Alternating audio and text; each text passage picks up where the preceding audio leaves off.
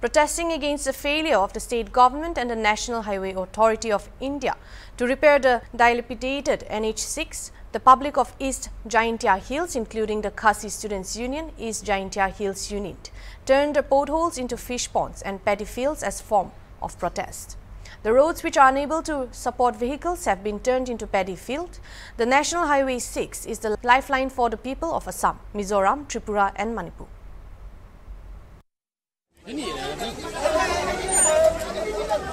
Tung, tung, tung. Sungkuba. Sungkuba. Sungkuba surak tung. Sungkuba surak. Tung, tung, tung, tung. Sungkuba. Tung, tung, kram, tung, kram. Gerak, eh.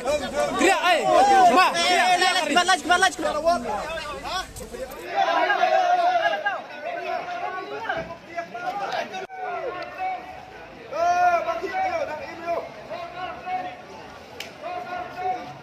Hea à, tenan mo?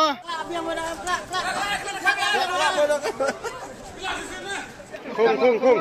Kung kung kung kung kung. Kung